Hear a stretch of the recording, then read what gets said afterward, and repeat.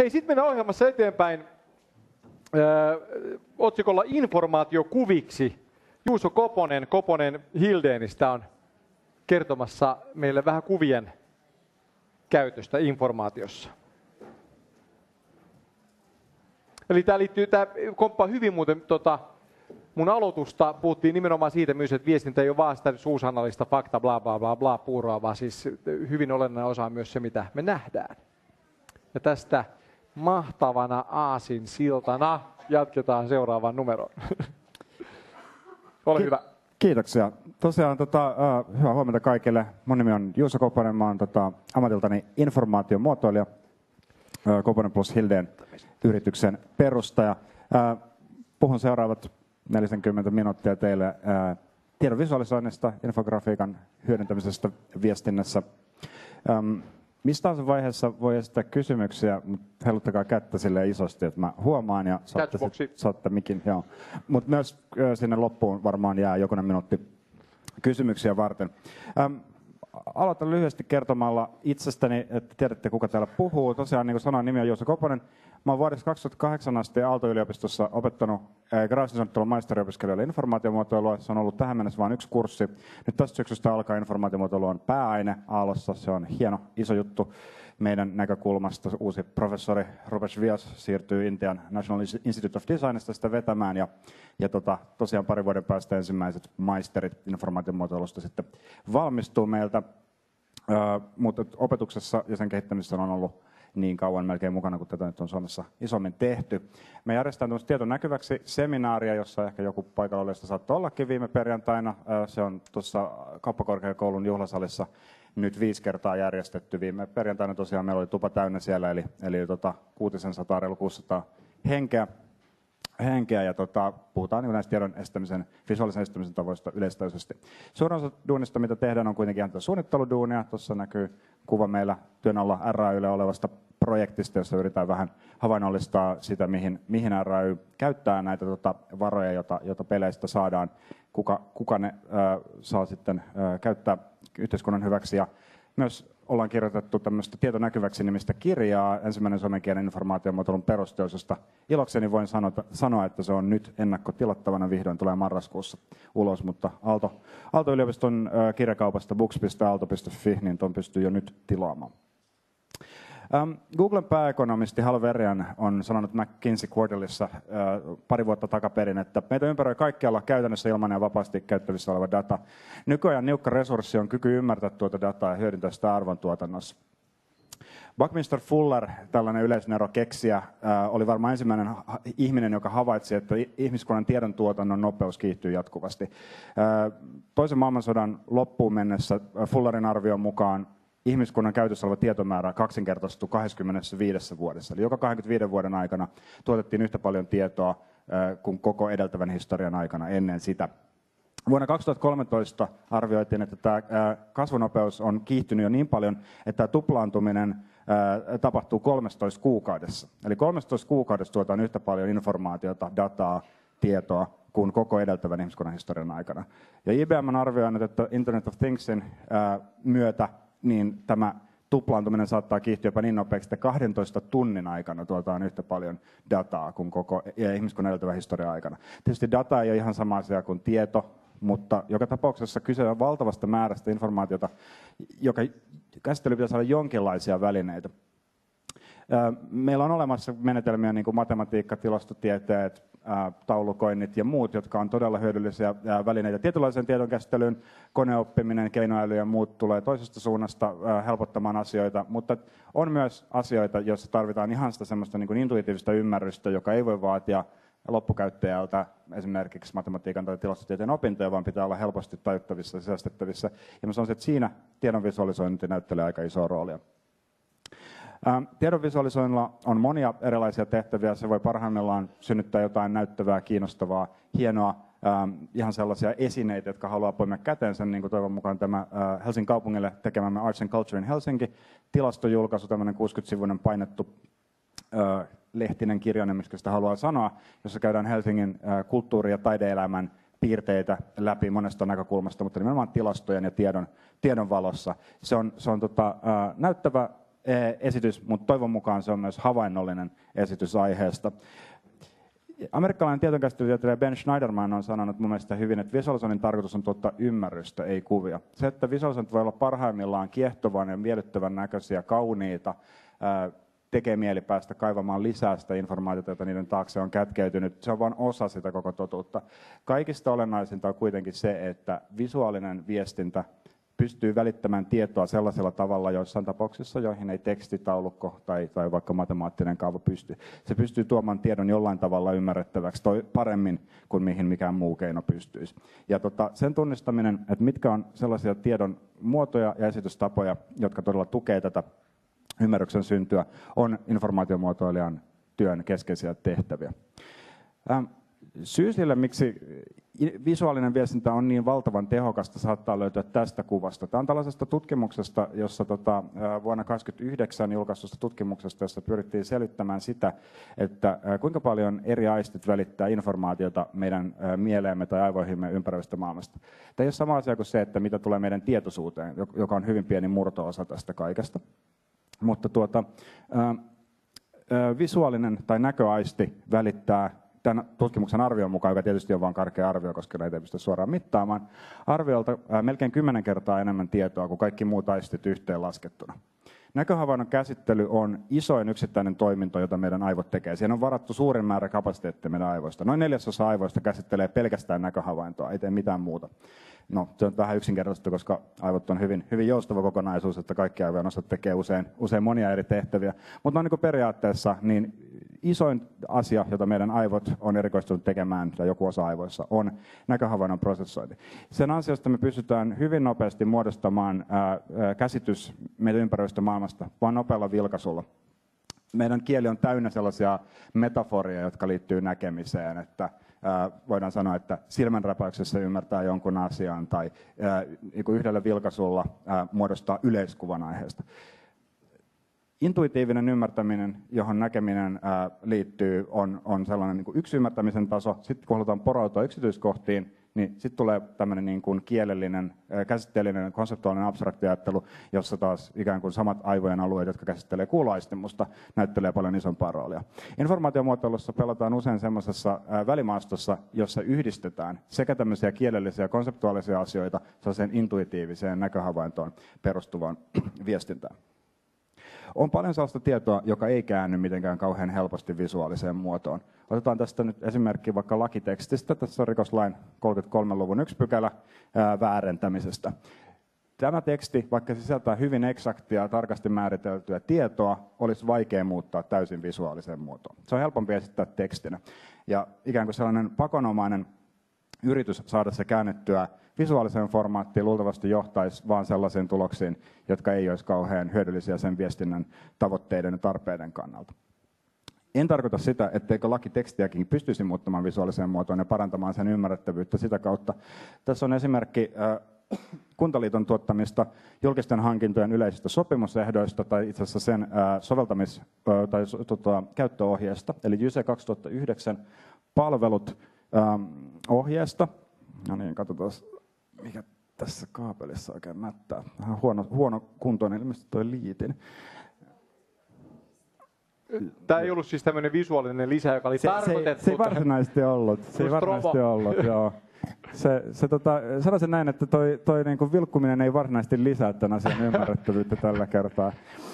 No, joka tapauksessa tässä on tota, ää, sivu tuosta, Aalto-yliopistossa tuotetusta julkisten hankintojen yleisten sopimusehtojen soveltamisohjeesta, jossa on yritetty niin kuin visuaalisen keinoin tehdä tätä lakitekstiä ja sopimustekstiä havainnollisemmaksi.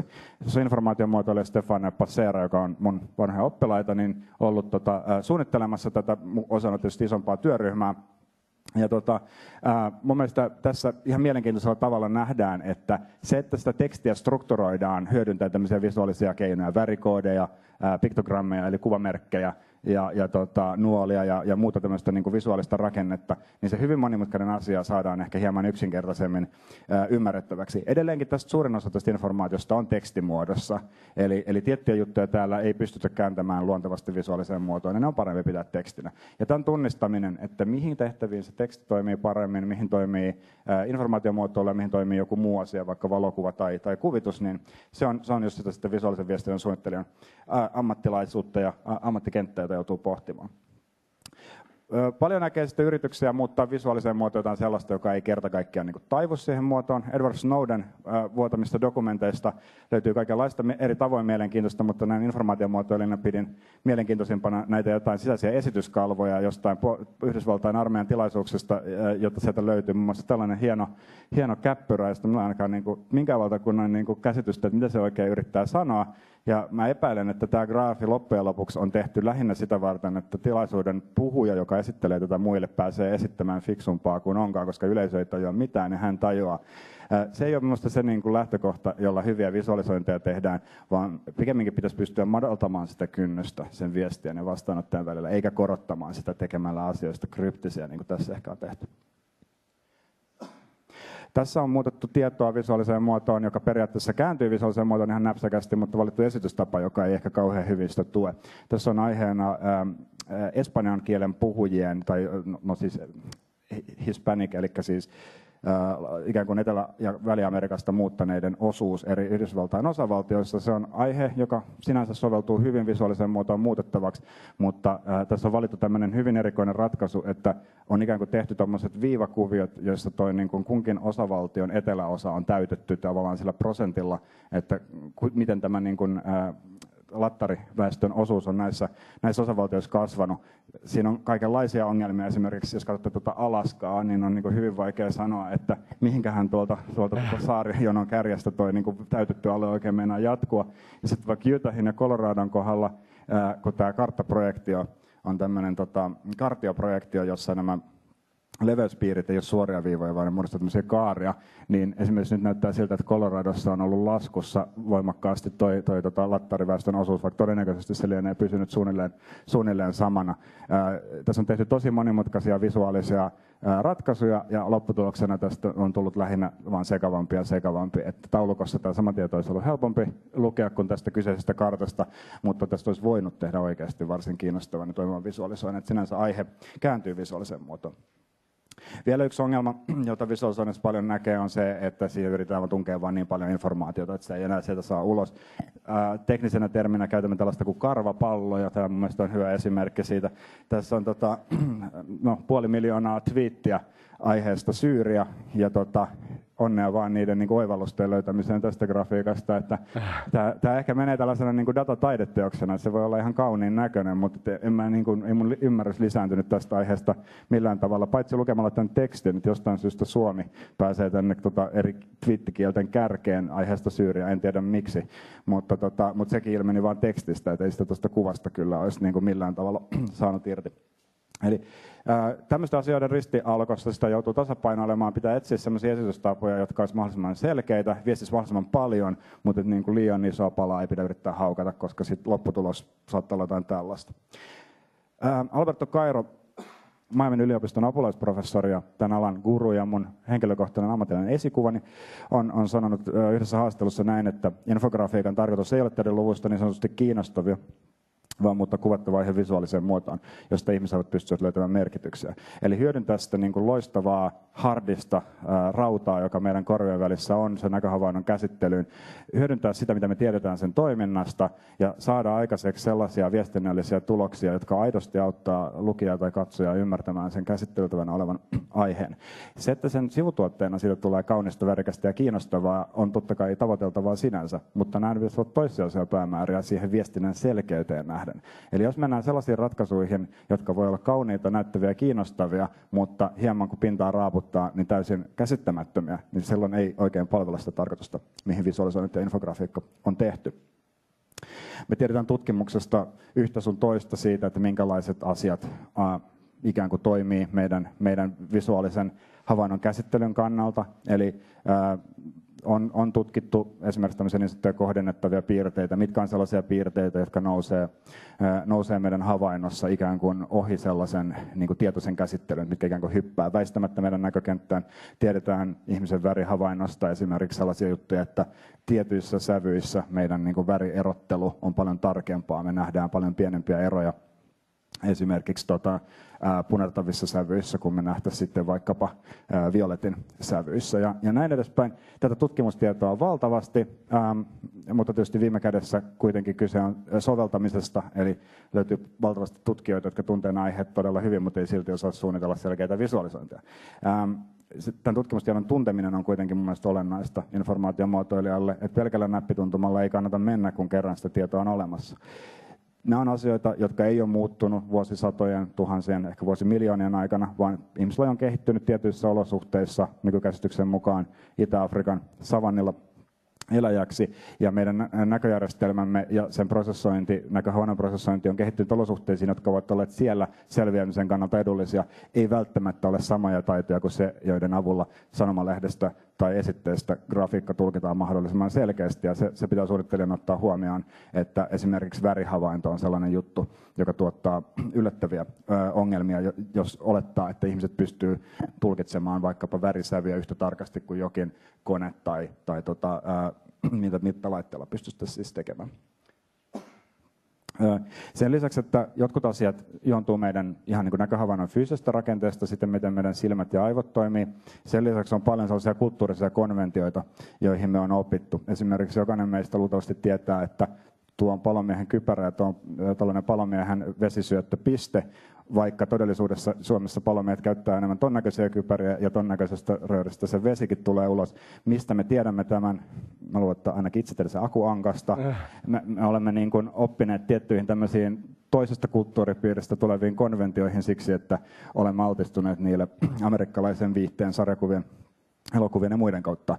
Ää, niistä on tullut jollain tavalla yli, ylikulttuurisia, mutta kaikki tällaiset piirteet eivät siirry kulttuurista toiseen. Et esimerkiksi se, että puuse on rakennus, jonka ovessa on sydämenmuotoinen reikä, niin saattaa olla meille ja ruotsalaisille itsestään selvä juttu, mutta ei välttämättä amerikkalainen ymmärrä, että sellainen symboli voisi kuvata, kuvata vessaa.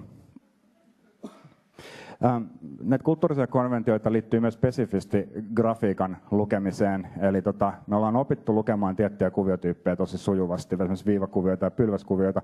Vaikka joskus aikanaan mekin on tämä jouduttu opettelemaan, niin nykyään varmasti jokainen täällä oleva niin ei, ei tuota suuria vaikeuksia lukea tuota pylväs- tai viivakuvioita, jossa on järkevästi suunniteltu, että siinä ei mitään niin hirveitä suunnittelumokia.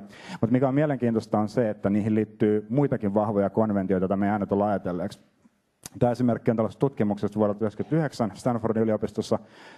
Koehenkilöille näytettiin tämmöisiä yksinkertaisia tilastokuvioita ja pyydettiin vapaamuotoisesti kuvailemaan, että mitä he näkevät tässä grafiikassa esimerkiksi. No, tämä vasemmanpuoleinen kuvio tässä, jossa on toinen simppeli pylväskuvio, josta kuvailtiin esimerkiksi niin, että miehet ovat keskimäärin pidempiä kuin naiset. No se on varmasti ihan luonteva tulkinta tästä aineistosta tietysti jotenkin sopii yksin myös sen kanssa, mitä me ikään kuin tiedetään jo entuudesta aiheesta. Mutta mikä on mielenkiintoista, että kun se sama tieto kuvattiin viivakuvion muodossa, niin koehenkilöt muun muassa sanovat tällaisia asioita kuin, että mitä miehisempi henkilö on, sitä pidempi hän on. Mikä näin niin asiaa tarkemmin ajatellen tuntuu vähän erikoiselta tavalta muotoilla asiaa, joka me ihan hyvin tiedetään, että ei me ehkä yleensä ajata sukupuolta semmoisena niin portauttomana jatkumona, vaan, vaan kyllä kuitenkin sukupuolet oli, nähtiin me niitä olevan kaksi tai enemmän, niin kuin ehkä piirteoriassa ehkä tämä niin pelkkä binäärinen mies-nainen jako saattaa olla vähän vanhahtava, mutta, mutta ei me silti ehkä ajatella sitä semmoisena niin täysin portauttomana jatkumona. Siitä huolimatta ihmiset tekee tällaisia tulkintoja aineistosta, vaikka he arkikokemuksen perusteella hyvin ymmärtää, että, että tämä tulkinta saattaa olla vähän outo, mutta se ei ajatella, koska tämä viiva, me ollaan opittu niin voimakkaasti sen viittaavan jonkinlaiseen jatkumaan, että silloin kun siellä kuvataan tämmöistä itse asiassa kategorista tietoa, niin me silti haetaan sieltä jonkun tämmöisen jatkumon kaltaista tulkintaa nämä on mielenkiintoisia asioita ja, ja ne oh, pitäisi ohjata sitä, että miten me käytetään eri kuviotyyppejä eri tiedon viestimiseen. Et jos meidän aineistossa ei esiinny minkälaisia jatkumoita, niin ei meidän pitäisi silloin kuvata niitä viivakuviona. Tai päinvastoin, jos esiintyy, niin silloin viivakuvio on usein se oikea tapa niiden esittämiseen. Tota, erilaisia tämmöisiä taksonomioita ja luokitteluperiaatteita, joilla erilaisia visuaalisia esitystapoja on yritetty systemaattisesti järjestää kategorioihin on luotu tosi monia. Tämä esimerkki on äh, John Schwabischen, joka on amerikkalainen ennen kaikkea julkisen sektorin äh, kontekstissa visualisointeja äh, tota, suunnitellut ekonomisti ja sitten liettualaisen Severino Ribekan kehittämä järjestelmä. Tämän nimi on Graphic Continuum, tämä ei millään tavalla ainut tällainen järjestelmä jota tästä aiheesta on tehty, mutta et, ää, nämä on mielenkiintoisia tällaisia yrityksiä hakea semmoista tiettyä systemaattista logiikkaa siihen, miten nämä visualisoinnit toimii. Käytännössä usein suunnittelijana voin kertoa, että ei ainakaan meidän duuni yleensä ala silleen, että me valittaisiin, että me halutaan tehdä tällainen vertailu tai osien suhde kokonaisuuteen ja lähtisi hakemaan tämmöistä taksonomiasta sitä. Nämä on ihan sellaisia nice to know juttuja, mutta ei välttämättä ohjaa sitä käytännön suunnittelutyötä. Se on paljon enemmän improvisointia ja, ja tota, tämmöisistä voi ehkä löytää löytyä joskus sellainen niin kuin idea, joka saa sen niin kuin ajatuksen ja projektin lähtemään positiivisesti uusille urille, mutta liikaa mä en niin kuin yhteen tämmöiseen systeemiin hirttäytyisi, koska näitä on monia kilpailevia, eikä ne ole välttämättä kaikki niin kuin, kaikista asioista ihan samaa mieltä, vaan saattaa ryhmitellä asiat joskus hieman eri tavoin. Visualisoinnit pystyy puolestamaan aineistosta sellaisia piirteitä, joita teksti tai, tai esimerkiksi tämmöiset keskiarvoluvut ja, ja muut tilastolliset luvut ei välttämättä paljastaisi. Tämä esimerkki on, on hyvin tunnettu. Tämä nimi on Anscomben kvartetti. Tämä on sen, äh, tota Francis Anscomben nimisen tilastotieteilijän kehittämä. Ja siinä on neljä tällaista datasettia, joilla on itse asiassa aivan samanlaiset tällaiset ominaisuudet, kuten, kuten keskiarvot ja, ja tota, korrelaatio, tota, kertoimet. Itse asiassa ei ole korrelaatio kertova regressio suora, pahoittelen olen kirjoittanut siihen väärin, varianssit ja, ja niin poispäin. Kaikki nämä tämmöiset tilastolliset tunnusluvut on näille neljälle aineistolle identtisiä, mutta heti kun ne visualisoidaan tämmöisiksi parvikuvioiksi, jossa siis laitetaan pisteet sen mukaan, että nämä on siis XY-pareja, että minkälaiset arvot ne saa, niin nähdään, että ne on hyvin erityyppisiä. Tuo vasemmalla kulmassa on ehkä sellainen tyypillinen tulos, joka voitaisiin saada jostain yhteiskuntatieteellisestä tutkimuksesta, ja tämä on ehkä enemmän sellainen, joka voitaisiin saada jostain luonnontieteellisestä tutkimuksesta, jossa mittalaitteessa on virhe, ja sieltä tulee niin kuin yksi selkeästi virheellinen havainto, joka sieltä hyppää heti silmään. Tämmöiset asiat ei välttämättä tällaisesta tilastollisista tunnusluvuista selviä, vaan nimenomaan se, että se aihe muutaan visuaaliseen muotoon, pakottaa meidät tunnistamaan siinä piirteitä, jotka ei välttämättä ole muilla keinoin havaittavissa. Tässä esimerkki siitä, mitä se voi äärimmillään olla, että tota, dinosauruksen kuva ei noista, noista tota, keskiarvoluvuista pysty, pysty paljastamaan, mutta visuaalismuodossa se on, se on välittömästi ilmeinen. Otan vähän konkreettisesti esimerkki, mitä merkitystä tämmöisellä asialla on. Eurovaalien 2014 yhteydessä Tanskassa järjestettiin kansanäänestys siitä, tulisiko Tanskan liittyä tämmöiseen Euroopan yhteiseen patenttituomioistuin sopimukseen. Hyvin tekninen asia, ei välttämättä itsessään niin kiinnostava meidän kannalta, mutta kiinnostavaa tässä on se, että paikallinen avoimen datan järjestö Open Knowledge Denmark oli, oli tota, seurannut tämän hankkeen etenemistä jo pitkään, ja sitten kun, kun tota seuraavana päivänä tai aamuna, kun saatiin tämä vaalitulos koneluettavassa muodossa tuolta paikallisesta oikeusministeriöstä keskusvaalien lautakunnasta, niin he sitten teki tämmöisen hyvin simppelin ja ei kovinkaan näyttävän visualisoinnin siitä, että miten tämä oli mennyt tämä tulos. He teki parvikuvion, jossa X-akselilla on niiden puolueiden saama ääniosuus, jotka äänesti tai kannatti tota, tässä sopimuksessa poisjättäytymistä, eli suosittivat äänestäjä äänestämään ei kansanäänestyksessä, ja pystyakselilla on sitten ei-äänten määrä kansanäänestyksessä. Ja niin kuin nähdään, niin tota, jokainen piste on yksi äänestysalue, Eli jos olisi tehty Suomessa, niin vaikka Kruununhaka A ja Kruununhaka B Helsingin äänestysluettelo ensimmäiset äänestysalueet olivat, olisivat yksi piste kumpikin tuolla. No, nähdään, että nämä korreloivat aika voimakkaasti, mikä ei ole hirveän yllättävää. Eli ne äänestysalueet, joissa äänestettiin paljon niitä puolueita, jotka vastustivat tätä sopimusta, niin samoissa, samalla äänestysalueella tosiaan niin tota, myös tuli paljon ei-ääniä kansanäänestyksessä. Ja tämä lopputulos on juuri se, mitä olettaisikin, ja se näkyy tästä ikään kuin tiukasta korrelaatiosta, joka näiden, näiden pisteiden välillä ää, vallitsee. Että siitä tulee tämmöinen niin kuin, muodoltaan tämmöinen varsin tiukka, tiukka pistepilvi. Mutta sitten siellä on yksi tällainen piste tuolla ylhäällä, joka on merkattu nuolella ja kysymysmerkillä, joka aivan selvästi hyppää erikseen siitä koko joukosta. Et se on yksi äänestysalue, joka ei yhtään sovi tähän niin kuin kokonaiskuvaan. Mistä on kyse? Se on, se on hyvin tyypillinen outlier, eli poikkeava havainto. No, tätä ruvettiin selvittämään, että ilmeni, että yhdestä äänestysalueesta oli vahingossa raportoitu keskusvaalilautakuntaan kyllä ja ei äänet väärinpäin joka on aika vakava virhe, kun sitä asiaa näin ajattelee, että you had one job, ja tota, nyt se ei mennyt ihan putkeen. Ähm, no, äh, tämä ei ollut niin tiukka äänestystulos, että tämä kyseinen, niin kun, sit kun tämä korjattiin, tämä virhe olisi kallistanut sitä äänestystulosta suuntaan tai toiseen. Mutta tota, mielenkiintoista tässä nyt on ehkä se, että kun me nähdään tämä visuaalisessa muodossa, niin me ei voida, voida olla näkemättä tuota yhtä pistettä, joka nousee sieltä niin kun välittömästi hyppää meidän silmiin, että mitä ihmettä on tapahtunut. Mutta sitten tämä paikallinen vaalitoimikunta, jonka te keskeinen tehtävä lienee kuitenkin varmistaa, että raportoitu tulos on oikein, niin kun he pyöritteli niitä ainoastaan taulukossa numeroina, niin heiltä tämä virhe jäi näkemättä. Ja se kertoo mun mielestä siitä, että kun tekstimuotoinen informaatio, numeromuotoinen informaatio muutetaan visuaaliseen muotoon, niin tietyt piirteet sieltä aineistosta vaan niin hyppää väistämättä meidän silmille. Me ei voida olla näkemättä niitä. Vähän monimutkaisempana esimerkkinä tässä on visualisointi, joka me ollaan tehty tuota Koponen plus Hildenissä, niin Kulttuurkontakt Nordille, joka on siis Pohjoismaiden neuvoston kulttuuripuolen organisaatio, joka erilaisiin taide- ja kulttuurihankkeisiin apurahoja. Tässä on, mä tehty pari visualisointia heille, tässä on toinen niistä. Tässä on aiheena tällaiset ää, apurahat, jotka, jotka menee taideproduktioihin tai tämmöiseen niin capacity buildingiin, eli esimerkiksi vaikka koulutukseen, seminaareihin ja sen tyyliseen. Ja näillä on yleensä joku ajallinen ulottuvuus. Tähän on tehty aikajana josta pystyy vähän näkemään, että miten nämä hankkeet niin kuin ajallisesti sijoittuu. Sitä pystyy filtteröimään taiteen alan mukaan, valitsemaan vain sellaiset hankkeet, joissa Suomi esimerkiksi on mukana. Niistä täytyy aina olla tietty määrä Pohjoismaita mukana näissä hankkeissa ja niin edespäin. Tämä tehtiin alun perin ihan sitä tarkoitusta varten, että, että tota, Culture Contact Nord halusi niin viestiä omasta toiminnastaan ulospäin, kertoa, että mitä kaikkea he tekevät. Mutta kun me saatiin tämä visualisointi valmiiksi, niin palaut, jota me saimme asiakkaalta, oli silleen, että nyt me itsekin vasta ymmärretään, että mihin kaikkialle se raha menee, ja saadaan kokonaiskuva siitä, että, että minkälaista tämä niin kuin, ää, ää, avustusten myöntäminen on ollut. Ja tämä on mielestäni hirveän mielenkiintoista, että parhaimmillaan visualisointi paljastaa sellaisellekin ihmiselle, joka ikään kuin ajattelee tuntevansa sen aineiston kuin omat taskonsa, niin paljastaa uusia piirteitä siitä aineistosta. Ja se on mun mielestä visualisoinnin voima, että, että se pystyy muuttamaan meillä olevia vahvoja käsityksiä joistain asioista, jopa niin kuin aiheesta, jonka, jonka niin kuin ylimpiä asiantuntijoita saatu. Me ollaan niin kuin ne ihmiset, jotka on toiminut näiden avustusten käsittelijöinä ja, ja, ja niin kuin muodostaneet kokonaiskuvan siitä, että mihin niitä ää, käytetään ja myönnetään, mutta sitten kun oikeasti näkee sen visuaalisessa muodossa, niin se kokonaiskuva voi muuttua. Ähm, paljon on tehty interaktiivisia visualisointeja meidänkin firmassa. Tässä on toinen esimerkki, jonka ehkä jotkut täällä paikalla olleista on nähnytkin. Tämä on SOSTEN verkkosivuilla, SOSTEN jäsenjärjestöistä tehty tämmöinen interaktiivinen visualisointi. Sinänsä niin kun, tähän ei ole hirvittävän monimutkainen, eli siinä on jokainen pallo on yksi SOSTEN jäsenjärjestö, ja kun hiiren päälle viemällä tai sitten mobiilissa vaan täppäämällä sitä, niin saa sitten tiedon siitä, että mikä järjestö on kyseessä.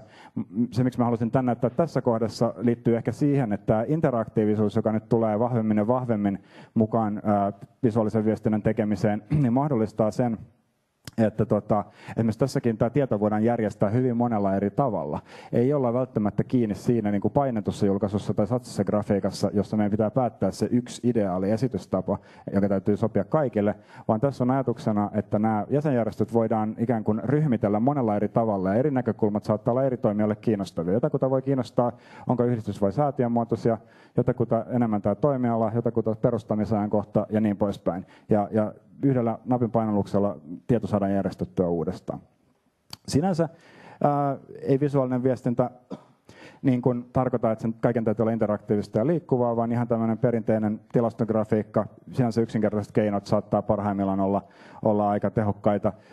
Vaikka nyt itse sanoinkin, niin minusta tämä itse tekemäni grafiikka niin havainnollistaa ihan kohtuullisen hyvin sitä, miksi tämä tällä hetkellä puuhailtu tota, eläkeindeksin muuttaminen tämmöiseksi palkkatasoindeksiksi, niin ei olekaan ihan hyvä idea, että kun puhutaan eläkeläisköyhyyden vähentämisestä, niin todellisuudessahan se ei vaikuttaisi millään tavalla kansaneläkkeen varassa olevan eläkeläisen tuloihin. Ja pientä työeläkettä nauttivan osaltakin se kasvu olisi aika pientä, kun taas kaikista isoimmissa ryhmissä niin eläke kasvaisi tuommoisella pitkällä aikavälillä dramaattisesti isommaksi kuin, kuin tällä hetkellä. Eli, eli tota, ihan tämmöisillä varsin yksinkertaisillakin keinoilla pystytään mun mielestä valasemaan, läpivalasemaan erilaisia näkemyksiä, osoittamaan virheitä siellä ajattelussa sen taustalla tai jossain tapauksessa ihan suoranaista harhaanjohtamista. Toki myös vahvistamaan sellaisia asioita, jotka pitää paikkansa ja jotka, jotka ansaitsee, ansaitsee niin kuin, tulla näytetyksi, että faktat tukevat sitä.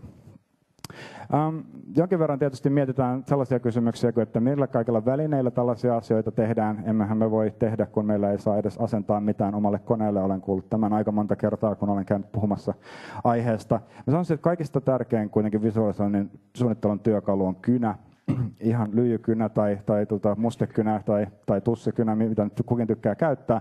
Mutta tosi paljon jos työskentelette niin kuin, sanotaanko näin itsenne ulkopuolisen graafikon kanssa, että se saattaa olla samassa organisaatiossa töissä tai se saattaa olla to- toisessa toimistossa tai, tai jossain muualla, niin, tota, niin jo kommunikoinnin apuvälineenä miten kämäset niin kuin luonnokset hyvänsä auttaa ihan tosi paljon hahmottamaan, että, että minkälaisia asioita tähän kannattaisi nostaa. Visuaalisten ideoiden selittäminen sanallisesti on välillä tosi vaikeaa. Et, niin kuin, on käyty monia pitkiä sähköpostikeskusteluja, joissa sitten vasta niin kuin, viikkojen vääntämisen jälkeen on niin kuin lamppu syttynyt, että ahaa, nyt mä taidan ymmärtää, mitä sä tarkoitat tällä. Sama asia olisi monissa tapauksissa, ei toki aina, mutta joissain tapauksissa niin selvinnyt niin kuin, muutamalla simppelillä lyijykynä tai kuulakärkikynä piirroksella aika nopeasti. Mutta silloinkin, kun visualisointia ja infografiikoita tekee itse, niin mä sanoisin, että on hyödyllistä aloittaa piirtämällä lyijy- tai mustekynällä paperille asioita, kun tekee luonnoksia, joiden tekemiseen menee kaksi minuuttia per kuva, niin ei tunnu niin pahalta heittää niitä roskiin, kun jos on jotain äheltänyt niin kolme työpäivää ja huomaa, että se ei ala toimia. Et siinä mielessä niin kuin tämmöiset nopeasti, niin kuin startup-puolella sanotaan, että niin kuin fail fast, että kannattaa epäonnistua nopeasti, päästään siihen onnistumisvaiheeseen sitten myös nopeammin, niin, niin tota, suunnittelussa, niin mun tämä kynäpohjainen perinteinen suunnittelumenetelmä toimii, toimii juuri, juuri tässä. No Excelhän on se perinteinen työväline, jolla useimmissa organisaatioissa tehdään, tehdään graafeja, ja se on ihan, ihan oikeasti hyvä väline siihen. Excelin grafiikka-ominaisuudet, sanotaanko näin, että voisivat olla paremmatkin, mutta ei ne ole mitenkään kelvottoman huonot, kun vaan tietää, mitä tekee. Mä näytän teille lyhyen tämmöisen tota, videon, niin kun, jossa on otettu, tämä on vanhemmasta Excel-versiosta kuin mikä toivon mukaan kenelläkään teistä on käytössä, että näyttää vieläkin karmeammalta kuin miltä ne näyttää nykyään se lähtötilanne, mutta ihan yksinkertaisesti vaan poistamalla ylimääräistä niin kuin roinaa siitä grafiikasta, niin sitä tehdään havainnollisempi. Eli jos lähtötilanne näyttää niin kuin suunnilleen tältä, niin tota, otetaan vaan kaikki mahdolliset koristelut, taustavärit, kiillot, heijastukset, ylimääräiset nimiöt, ää, varjostukset ja vastaavat pois, reunukset pois, ää, tota, hilaviivatusta voi himmentää. Yleensä joka asialle ei tarvita omaa tunnusväriä, että riittää, että siellä on niin kuin joku perusväri ja joku toinen korostusväri. Ää, yleensä hilaviivotuksen tarvii olla juuri ja juuri niin kuin nähtävissä, sen tummempi sen ei tarvi olla. Simppelissä pylväskuvissa ei välttämättä tarvita hilaviivotusta ollenkaan, vaan ne arvot voidaan kirjoittaa suoraan, suoraan noihin pylväisiin. Eli tota, jos lähtötilanne on tämä ja, ja lopputulos on tämä, niin mä sanoisin, että kyllä se selkeys ja ikään kuin myös tietynlainen ammattimainen uskottavuus on lisääntynyt pelkästään silla, että asioita otetaan pois. Mainitsen kuitenkin, että jos haluatte käyttää niin kuin, niin kuin muitakin visualisointityökaluja, niin niitä on sinänsä maailman pullollaan, mutta mainitsen nyt nimeltä yhden, joka on Tableau. Saattaa olla joillekin teistä tuttu. Se käytetään monissa organisaatioissa ennen kaikkea business intelligence eli tiedolla johtamisen työkaluna, mutta siinä on todella hyvät visualisointiominaisuudet. Se ei ole ihan halpa valitettavasti se perus Tableau'n lisenssi, mutta jos täällä on ihmisiä, joilla on tota, opetustehtäviä yliopistossa, niin tota, Tableau antaa itse asiassa yliopisto-opettajille ilmaisen lisenssin tähän ohjelmaan, kun vaan tota, pyytää, ja opiskelijoille myös. Siitä on olemassa myös tämmöinen public-versio, jota voi käyttää ihan ilmaiseksi pyörii selaimessa. Siinä on vähän rajoitummat ominaisuudet ja sitä ei voi tietenkään käyttää mikään luottamuksellisen tiedon pyörittelyyn, että se lähtee jonnekin amerikkalaiselle serverille ja sitä ei tiedä, mitä siellä, siellä sitten tapahtuu. Mutta tämä mainitsen niin yhtenä tämmöisenä työkaluna, joka saattaa olla, saattaa olla itse paljon visualisointia tuottavalle organisaatiolle järkevä investointi verrattuna siihen, että tekisi vain Excelillä. Juuso, mm-hmm. mulla olisi Twitterin kautta yksi tähän liittyvä Joo. kysymys. Onko olemassa hyviä ilmaisia ja helppoja sovelluksia, joita järjestöt voivat hyödyntää tiedon visualisoinnissa? lyhyt vastaus on. Tota, pitkä vastaus on, on se, että paljon meillä aikaa. Tota, no ei, äm, on olemassa, mutta ehkä perusongelma kaikissa näissä työkaluissa on se, että useimmat niistä ilmaisista työkaluista on tehty aika lailla niin kuin yhden ainoan ongelman ratkaisemiseen. Et se on silleen niin kuin, se ei ole työkalupakki, vaan se on pelkkä ruuvimeisseli tyyppisesti. Eli se, tavallaan ongelma pitää rajata aika tiukasti, että löytyy sellainen ilmastotyökalu, joka ei vaadi minkäänlaista niin kuin erityistä teknistä osaamista. Sitten jos osaa koodata jonkin verran, niin sitten niin kuin se mahdollisuuksien avaruus laajenee huomattavasti isommaksi. Et hirveän iso osa visualisointityökaluista tänä päivänä on vielä koodi pohjaisia. Ne edellyttää JavaScript tai Python tai, tai joku muu vastaavan ohjelmointikielen osaamista. Se on, sanotaan näin, että monissa tapauksissa investointi, joka varsinkin niin kuin graafiselle suunnittelijalle, joka siis tekee visuaalisia asioita työkseen, niin suosittelen kyllä sitä investointia, että pikkasen opettelee koodaamista. Ei välttämättä viestiälle tai asiantuntijalle ole perusteltu ajallinen investointi, mutta, mutta designerille mun mielestä on. Ähm, mutta tosiaan ilmaisista työkaluista sanotaan Tableau Public on ihan hyvä. Sitten Microsoftilla on uusi työkalu nimeltä Sanddance, hiekkatanssi. Mä en ole itse ehtinyt vielä käyttämään sitä, mutta demovideoiden perusteella se vaikuttaa tosi simppeliltä. Se on ilmainen myöskin. Ja sitten on olemassa tuolla Milanon polyteknisessä tai teknisessä yliopistossa kehitetty työkalu nimeltä RAW, raaka, joka on hyvin helppokäyttöinen ilmainen, ilmainen visualisointityökalu. Ja sitten mainitsen vielä sellaisen kuin Vega, mitä on kehitetty Stanfordin yliopistossa, joka on oikeastaan kokoelmatyökaluja. Siinä on, siinä on erityyppisiä. Osa vaatii vähän enemmän koodin pyörittämistä ja osa on ihan tämmöisiä point and click tyyppisiä. Myös ilmainen avoimen lähdekoodin työkalu. Että on näitä jonkin verran. Juus, tsekataanko, tuleeko yleisökysymyksiä? Se on hyvä, kun se lyijykynä oli mukana. Tämä vahvaa intertekstuaalisuutta tässä aamussa. Että se on niin lyijykynä mahtava formaatti. Se tuli taas kerran todistettua. Kysymyksiä? Tämä veti taas yleisön hiljaiseksi. No, jos ei ole kysymyksiä, niin mä käytän, ja siis yes. saa, saa muuttaa mielensä ehdottomasti, niin mä käytän sitten jäljellä olevan ajan vielä muutaman, muutaman asian mainitsemiseen. Tota, työkaluista mainitsen sen, että jos tiedetään, että tietyt tilanteet toistuu uudestaan ja uudestaan, niin semmoinen niin kasvava trendi on omien työkalujen rakentaminen.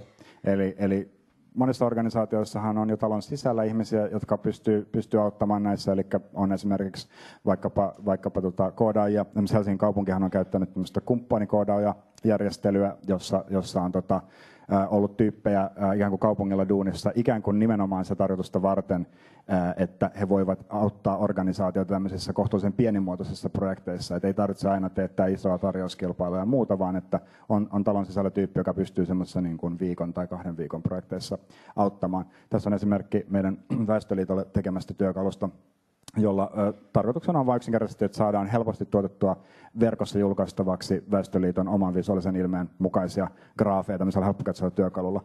Näytän vielä toisen esimerkin, joka me on tehty valtioneuvoston kanslialle, ö, valtioneuvoston kärkihankkeiden, tai tota, hallituksen kärkihankkeiden etappien ja, ja aikataulujen seuraamista tämmöinen vähän, vähän eri, erityisempi ö, tota, työkalu hyvin spesifin käyttötarkoituksen, se voi tehdä aikarajauksia ja, ja tota, rajata tämän niin kuin teeman, teeman mukaan ja sitten tota, katsoa sitä kokonaisnäkymää. Ja sitten siellä on vielä sellainen ominaisuus, että klikkaamalla tämän tota, hankkeen nimeen, niin täällä tulee tämmöinen niin kuin verkossa julkaistava timeline-versio, jossa voi vielä vähän siirrellä näitä labeleita. Tässä on niin ollut hyvin spesifi käyttötarkoitus ja siinä edellisessä Väestöliiton työkalussa ehkä vähän yleisluontoisempi. Ää, näitä, ää, näitä kehitetään jatkuvasti ja tämä on ehkä sen suunta, mihin ollaan enemmän ja enemmän menossa, että ää, yhä useammin meidän tehtävä ei ole tehdä visualisointia, vaan tehdä työkaluja, jonka avulla sitten asiakkaan ihmiset, joilla ei ole välttämättä designer-koulutusta, pystyy tekemään niitä visualisointeja. Periaatteessa visualisointia tehdään ja näytän tässä vain muutaman esimerkin tällaisesta, että miten tämmöinen, tämä on meidän Aalto, äh, tota, Aalto Magazineen seuraavaan te- tekemä versio, tämä itse asiassa on vielä ihan valmis, mutta näytän vain, että nämä usein elää matkan varrella. Tässä on ensimmäinen versio, joka me tehtiin, toinen ja nyt se on kolmantena menossa suunnilleen tämän näköisenä lehteen. Vielä jotain muutoksia, muutoksia siihen on tulossa. Ehkä sen, tämä toimii pienen johdantona siihen, että visualisointiprojektin vaiheet, en käytä tähän paljon aikaa, että päästään, päästään tota eteenpäin, mutta mainitsen vain, että Projekti alkaa tämmöisestä vaiheesta, jossa määritellään, että mitä ollaan tekemässä ja etsitään ja kerätään tarvittavaa aineistoa. Nämä on usein vahvasti vuorovaikutuksessa, että se voi lähteä kummasta vaan liikkeelle. Voi olla joku aineisto, joka halutaan visualisoida, tai voi olla joku viesti, joka halutaan lähettää, ja sitten joudutaan miettimään, että mistä löydetään se aineisto, jonka avulla se saadaan viestittyä.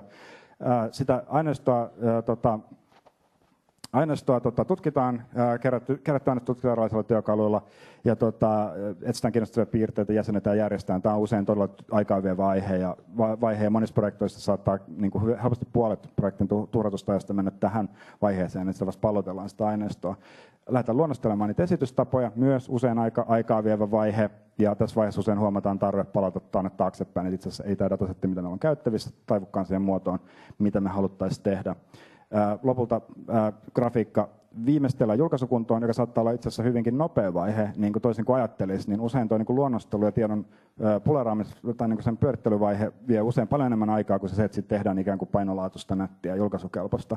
Ja projektihan ei lopu siihen, että, että tota, visualisointi julkaistaan, vaan tietenkin pitää katsoa, että miten ne viestinnälliset tavoitteet, mitä siellä oli asetettu, niin toteutu. Ja, ja tota, jos kyse on verkkoon sijoitetusta visualisoinnista, niin korjataan bugeja, jotka ilmenee myöhemmin ja mahdollisesti päivitetään sitä sisältöä, kun uutta, uutta sisältöä tulee. Et hyvin suunniteltu visualisointi mahdollistaa helposti tietojen lisäämisen vaikka joka vuosi uudestaan, kun uudet, uudet tilastot valmistuu. Ähm, haluan lopettaa tämmöisen sitaattiin tuosta John Tukelta. Hän kirjoitti, hän on tutkinut nimenomaan tämmöisiä kokeellisia tiedon louhinnan ja etsimisen menetelmiä ja, ja nimenomaan nostaa visuaalisen visualisointien merkitystä siinä, siinä toiminnassa. Eli kuvan arvokkaimmillaan, kun se pakottaa meidät huomaamaan jotakin, mitä emme ikinä osaa odottaa näkevämme. Eli visualisointi pystyy muuttamaan luutuneita asenteita ja paljastamaan asioita, joista, joista emme tienneet tätä ennen mitään. Kiitos tuosta osoitteesta löytyy nämä mun esityskalvot, jos haluatte tutustua niihin tarkemmin niin PDF-muodossa. Ja varmaan ehdin vielä johonkin kysymykseenkin vastata, jos sellaisia on ilmennyt. Kiitos. Kiitos Juuso, väliaplodit.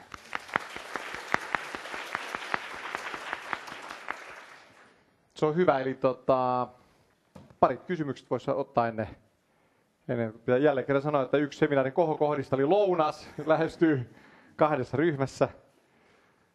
Ja se on hyvä, Juusolla oli se, me, sama, lyijykin oli sama myös se, että Juusulla solmi on mulkion solmi, mutta se on tässä.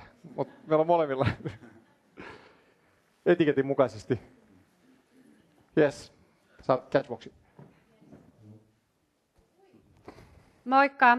Semmoinen kysymys, että mitä kannattaisi tehdä, jos ei ole rahaa eikä graafista suunnittelijaa?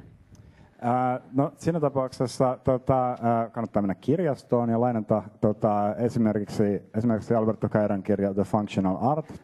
Myös voin suositella Koponen Hilden vapaasalon kirjaa Tieto näkyväksi tulevasta marraskuussa.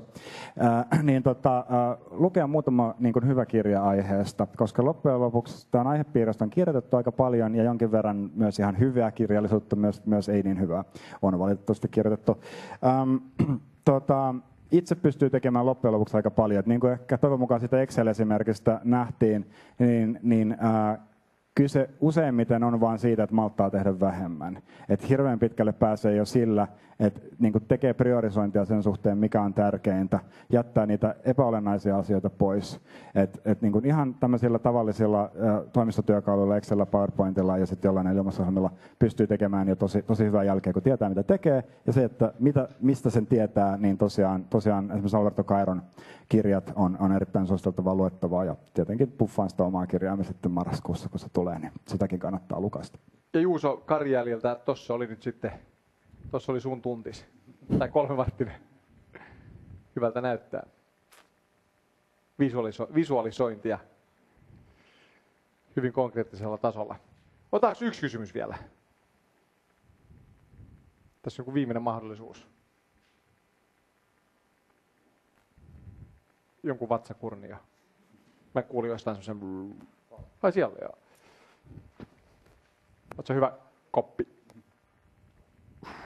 Joo, ehkä mulla on kysymys sitten siihen, että varsinkin data ja tieto muuttuu ja koko ajan, että miten tämmöinen niin päivittäminen, miten se kannattaa huomioida, jos miettii sitä näkökulmaa.